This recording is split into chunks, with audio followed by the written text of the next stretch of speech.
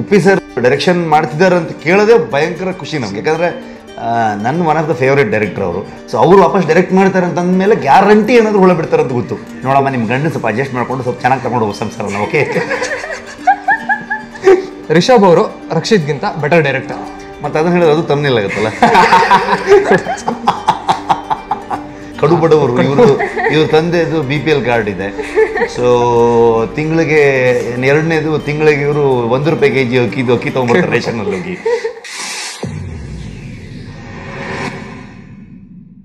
ಈಗ ನನ್ನ ಜೊತೆಗೆ ಒಬ್ರು ಫೈರು ಮತ್ತೆ ಒಬ್ರು ವಾಟರ್ ಇದ್ದಾರೆ ಅವ್ರಿಗೆ ರ್ಯಾಪಿಡ್ ಫೈರ್ ರೌಂಡು ಸರ್ ಈಗ ನಾನೊಂದಷ್ಟು ಪ್ರೊಫೆಷನ್ಸ್ನ ಹೇಳ್ತಾ ಹೋಗ್ತೀನಿ. ನಮ್ಮ ಇಂಡಸ್ಟ್ರಿನಲ್ಲಿ ಯಾರಿಗೆ ಸೂಟ್ ಆಗುತ್ತೆ ಅಂತ.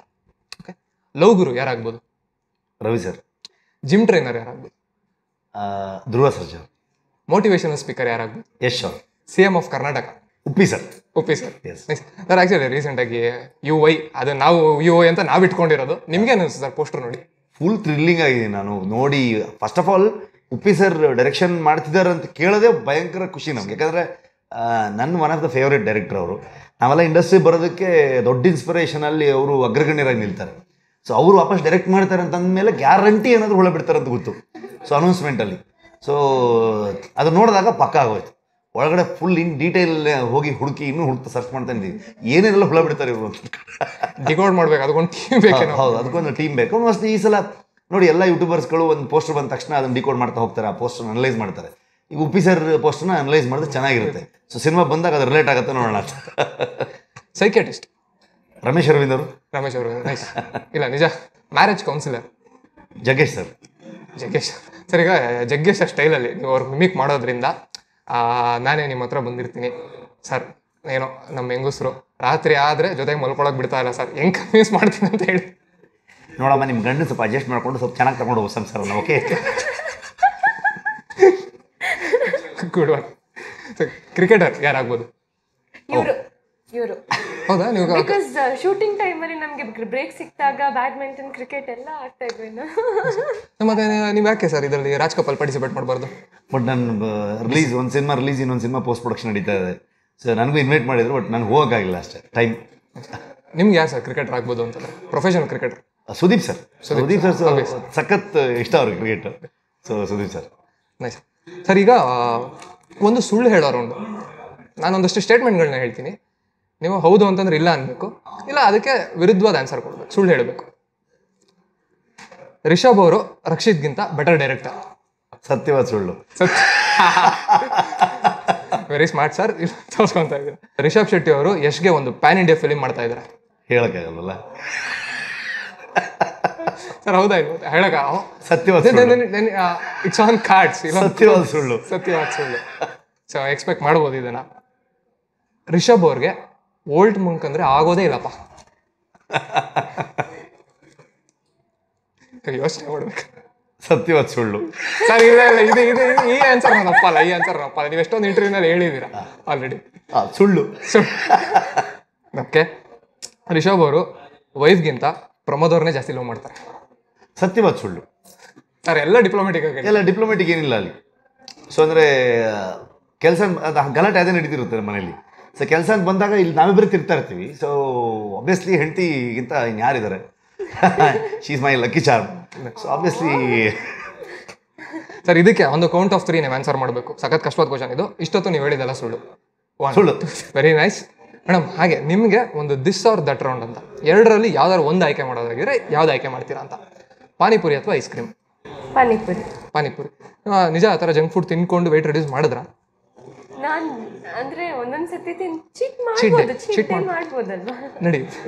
ಓಕೆ ಡ್ರೆಸ್ಸಲ್ಲಿ ವೆಸ್ಟರ್ನ್ ಆರ್ ಟ್ರೆಡಿಷನಲ್ ಬೋತ್ ಬೋತಿಲ್ಲ ಇಲ್ಲ. ನಾನು ಯಾವ್ದಾರು ಒಂದು ಯಾವ್ದು ಯಾವ್ದಾರು ಒಂದು ನೀನು ಆಯ್ತು. ಕ್ವಶನ್ ಹಿಂಗೆ ಹಾಕ್ತೀನಿ ನಾನು. ಇನ್ಮೇಲಿಂದ ಯಾವ್ದಾರು ಒಂದು dress ಬಿಟ್ಬಿಡ್ಬೇಕು. Either have to wear modern or traditional ಯಾವ್ದು? ಟ್ರೆಡಿಷನ್ ನಾನು ಹಾಕ್ತೀನಿ. ಟ್ರೆಡಿಷನಲ್ ಹಾಕ್ತೀರಾ? ಮಾಡರ್ನ್ ವೇರ್ ಬಿಟ್ಬಿಡ್ತೀರಾ? ಅಂದ್ರೆ ಇಲ್ಲಿ ತನಕ ಹಾಕಿದ್ದೀನಿ ಅಲ್ವಾ ಆಲ್ರೆಡಿ ತುಂಬಾ ಮಾಡರ್ನ್ ಡ್ರೆಸ್ಸಸ್ ಹಾಕಿದ್ದೀನಿ. ಸೊ ಟ್ರೆಡಿಷನ್ ಓಕೆ ನೈಸ್ ಒಂದು ಒನ್ ಇಯರ್ ವರ್ಕೌಟೇ ಮಾಡಲ್ಲ. ಇಲ್ಲ ಒನ್ ಇಯರ್ ಇನ್ಸ್ಟಾಗ್ರಾಮ್ ಯೂಸ್ ಮಾಡಲ್ಲ. ಯಾವ್ದು ಔಟ್ ಮಾಡ್ತೀರಾ? ಒನ್ ಇಯರ್ ಇನ್ಸ್ಟಾಗ್ರಾಮ್ ಯೂಸ್ ಮಾಡಲ್ಲ. ಅಪ್ಪ ಇನ್ಸ್ಟಾಗ್ರಾಮ್ ಯೂಸ್ ಬಟ್ ಮಾಡಿದೆ ಇವಾಗ ರೈಟ್ ನಾವು ಆಫ್ಟರ್ ಹರಿಕತೆ ಎಲ್ಲ ಗಿರಿಕತೆ ಒನ್ ಇಯರ್ ವರ್ಕೌಟ್ ಮಾಡಲ್ಲ ಡಯಟ್ ಮಾಡ್ಕೊಂಡಿರ್ತೀನಿ. ಜೂನ್ ಆದಮೇಲೆ ಜೂನ್ವರೆಗೂ ಇನ್ಸ್ಟಾಗ್ರಾಮ್ ಯೂಸ್ ಮಾಡ್ಕೊಂಡಿದ್ದೀನಿ ಓಕೆ ನಿಮಗೆ ಇಷ್ಟಪಟ್ಟವ್ರನ್ನ ಮದುವೆ ಆಗ್ತೀರಾ? ಇಲ್ಲ ಒಂದು ಸಕ್ಸಸ್ಫುಲ್ ಆಕ್ಟ್ರೆಸ್ ಆಗ್ತೀರಾ ಕೆ ಫೈನಲ್ಲಿ ಸರಿ ಚೆನ್ನಾಗಿದೆ ಈ ಪ್ರಶ್ನೆ. ಕೆ ಎಫ್ ಐನಲ್ಲಿ ಒಬ್ಳು ಒಳ್ಳೆ ನಟಿಯಾಗಿ ಗುರುತಿಸ್ಕೊಳಕ್ಕೆ ಇಷ್ಟಪಡ್ತೀರಾ? ಇಲ್ಲ ಅಂತಂದ್ರೆ ನೀವು ನೀವು ಇಷ್ಟಪಟ್ಟಿದ ಹುಡುಗನ ಮದುವೆ ಆಗೋದಕ್ಕೆ ಇಷ್ಟಪಡ್ತೀರಾ? ನಾನು ಅಚೀವ್ ಮಾಡಿಬಿಟ್ಟು ಇಷ್ಟಪಟ್ಟಿರೋ ಹುಡುಗನ ಮದುವೆ ಆಗಕ್ಕೆ ಇಷ್ಟ. ಆ, ಯಾವ ಕಾಲ ಯಾವ ಕಾಯ್ತಾನೆ ಇರ್ಬೇಕು ಹಂಗಾರೆ? ನೀವು ಇರೋ ಯಾರು ಕಾಯ್ಕೊಂಡಿರ್ತೀರ ಪಾಪ ಅದನ್ನೆಲ್ಲ ಕಾಯ್ತಾ ಇರ್ತಾರೋ? 23 ಇವಾಗ ಸೊ ಸೊ ಎಷ್ಟು ವರ್ಷ ಹೀರೋನ್ ಆಗಿರ್ಬೇಕು ನಿಮ್ಮ ಆಸೆ ಆಗಿದ್ರೆ?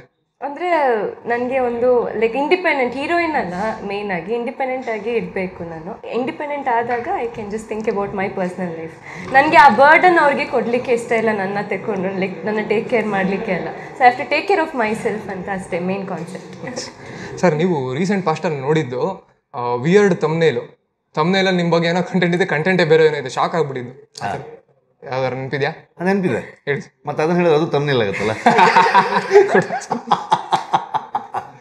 ಸೊ ಏನೋ ಒಂದು ಕೇಳ್ತಾರೆ ನನಗೆ. ಟಚ್ಚಲ್ಲಿ ಇದ್ದೀರಾ ಅಂತ.